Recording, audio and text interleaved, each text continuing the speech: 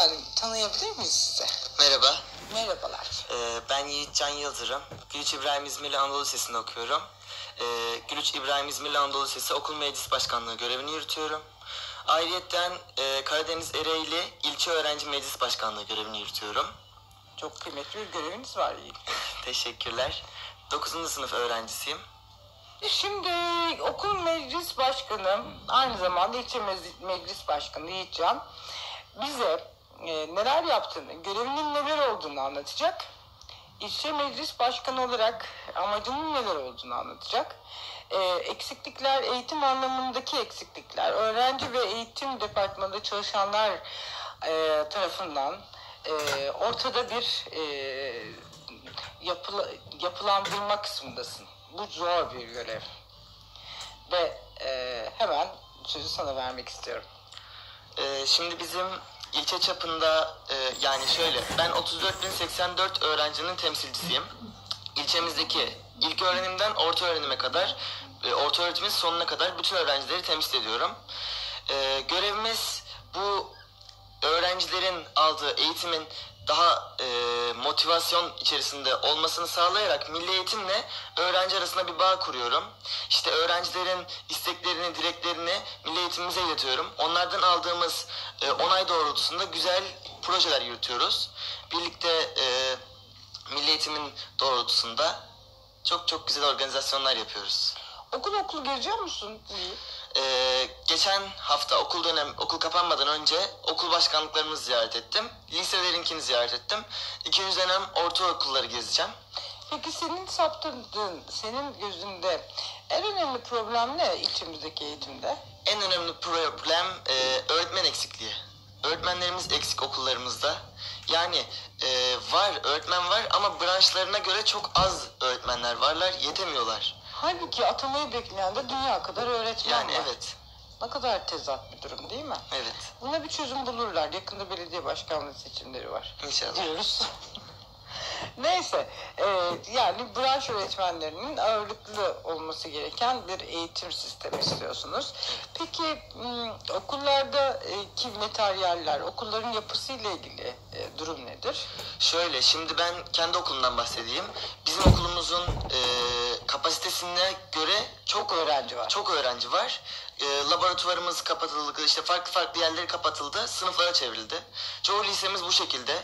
Yani bu liseler ya ek farklı liseye ya açılmalı veya diğer liselere de öğrencileri eşit ağırlıkta yerleştirmeleri gerekli olduğunu düşünüyorum ben. Evet, bu sınav sisteminin getirdiği olay oldu bu.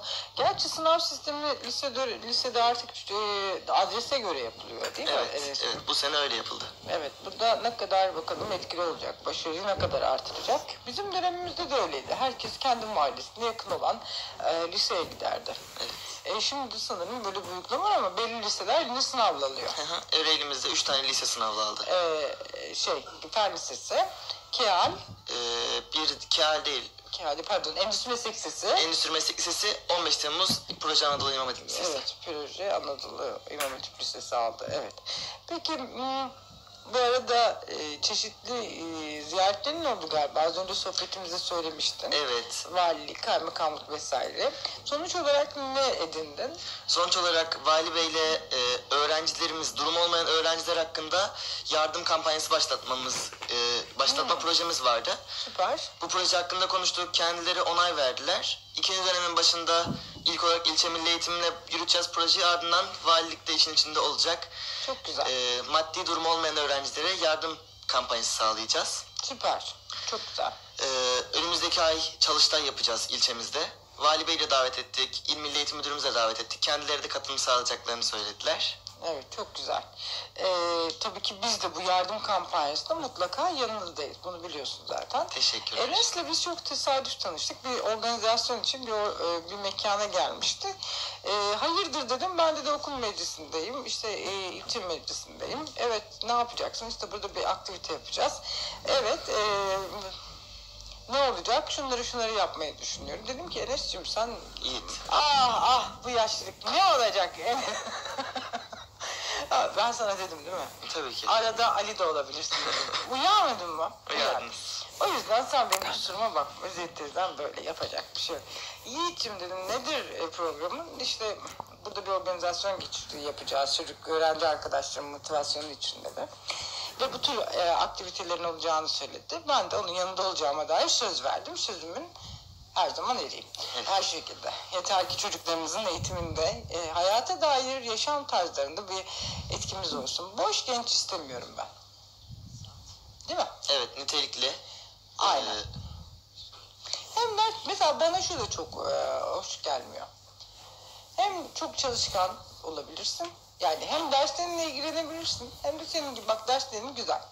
Efendime söyleyeyim sosyal sorumluluk projesi altında taşın altına elini koymuşsun. evet. Bunlar zor işler mi? Hayır. Ben yani planlı yapınca gayet olumlu, düzgün rayında ilerliyor. Ama işte bir tarafa ağırlık verip diğer tarafı boşlarsak veya sadece ders kısmını düşünüp işte sosyallikte diğer proje taraflarını e, hafife alırsak yani o zaman ne sosyal hayatımızda başarılı oluruz. Sadece eğitim hayatında başarılı olmayla nitelikli olunmuyor. Evet. Ya ben de öyle düşünüyorum. Yani bu insan beyni zaten ne kadar hücre vardı beyinde bunun biz dörtte birini falan kullan, kullanıyormuşuz. Diğer kısmını kullanmıyormuşuz. Evet. Kullansak demek ki neler olacak? Ya vallahi çok umutlandım. Bugün bu çocuklarla bu sohbet ederken geleceğe dair kaygılı olan ben bayağı bir umutlandım. Vallahi sağ olun çocuklar. Yani bu yaptığınız e, iş kolay bir iş de değil ama e, başarmanızı görmek, başarılı olmanızı görmek beni çok mutlu etti. Annelerinizi, babalarınızı, ailenizi, eğitmenlerinizi tebrik ediyorum. Teşekkürler. Tabii ki önce iş sizde bitiyor e, mutlaka ama bunlar da etken faktör. Tabii. Aile e, çok önemli. Öğretmen çok önemli. E, yaşadığınız ortam çok önemli. Duyarlı olmak, çevreli e, çevredeki insanlardan haberdar olmak insan olmanın tabii ki değil mi? Ön faktörü. Evet. Şimdi e, Ankamus'la ilgili sen de destek vereceksin ilçemizde. Tabii ki. Ee, öğrenciler benimle iletişime geçebilirler. Daha sonra ben e, değerli temsilcimiz, üyemiz Ene- Enes Bey ile onları irtibata sokarım. Ee, katılmak isteyenler tekrar söyleyeyim. Benimle irtibata geçebilirler. Peki kardeş okul projeleri devam ediyor mu ilçemizde? Ee, şu anda yürütülen bir proje bizim ilçemiz için daha yok. Ama benim e, ta okul başından beri öyle proje var aklımda.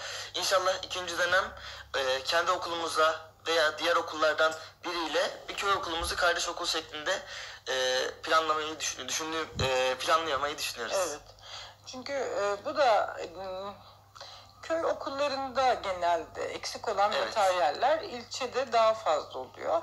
Bunlar karşılıklı işte öğrencilerin de desteğiyle bir okulu ne halden ne hale getirilebiliyor yani. Tabii ki. E, devletin de her yere yetişebilmesi e, isteriz tabii ki ama olma, olmadığı dönemlerde de bizler bu konuda duyarlı olacağız.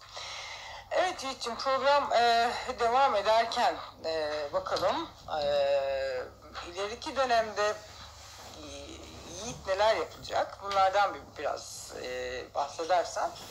Yani senin programında bu yıl içerisinde e, meclis başkanlığı her yıl tekrarlanıyor. Evet her yıl kadarıyla. seçim yapılıyor. Çok güzel. Örnek olsun büyüklere. Demokrasi e, e, gerçekten işleniyor. Hiçbir şekilde ben biliyorum okul meclis e, seçimlerinde, ilçe meclis seçimlerinde. Evet e, e, ve demokrasiyle e, ilçe meclis başkanı olmuş bir e, öğrencimiz olarak e, amacını burada yapmak e, istediklerini kısacık değinirsen çok mutlu olacağım. Ee, şimdi ne gibi şeyler yapmak istiyoruz? Bahsettiğim gibi bu e, kardeş okul kampanyaları, daha sonra gıda yardımı, e, daha sonra işte bizim bu sporsal faaliyetlerdeki e, olanaklarımızı arttırmayı planlıyoruz. İşte bu sporsal destek olur, metaller olur, gönderilmesi olur. E, ondan sonra bir de eğer uygun görülürse bir e, belediyemizle veya ayrı bir sponsorlukla birlikte şu projeyi planlamayı düşünüyoruz. Her mahallemize öğrenciler için bir spor kompleksi. İnşallah. Yani yapılabilirse çok güzel olacak. Yani öğrencilerin hem e, sosyallik açısından kendilerini vak- güzel vakit geçirebilecekleri bir alan olacak. E, hem de bizim açımızdan kendimiz için de güzel bir şey olacak. Nacizane ben de bir fikir söyleyebilir miyim? Tabii ki, buyurun. Yiğit'ciğim? Eksik gördüğüm bir şey bu benim. Eğer olabiliyorsa, yapabiliyorsan, programın içine alabiliyorsan yani e, sınavlar öncesi gerek TEOK, e, gerek üniversite sınavı öncesi öğrenciler ve veliler üzerine psikolojik anlamda onları olumlu etkileyecek bir seminer. Tabii ki düzenlenebilir ilçemiz ilçe çapında. Aynen ilçe çapında. Ee, sponsorlar da aynı. Bu konuda da ben sana yardımcı olabilirim. Bunu ben çok istiyorum. Yani e, bu bir e, kişisel gelişim uzmanından yardım alınabilir. Bir eğitim anlamında bu konuda uzmanlaşmış birini içimize davet edebiliriz. Tamam. Olabilir. Ee, Eğitim Müdürü bu konuda bize destek olabilir diye düşünüyorum. Olur olur. Çünkü maalesef sistem sınavı getiriyor. Sınavda başarılı olan öğrencinin başarılı olduğu düşünülüyor. Halbuki o andaki psikolojide e, bir öğrencinin hayatına mal olabiliyor. Tabii ki. Doğru mu? Doğru. Bunun için de e, bence öğrencilerin ve velilerin, anne babalar daha heyecanlı. Biz de uyumuyoruz sabahlara kadar. Bir yıl boyunca çalışalım, çalışalım, çalışalım. Yaşadık bunları. E, bu yüzden bizim de eğitilmemiz gerektiğine inanıyorum ben. Önce biz anne babalar bu sınava hazırlanmalıyız.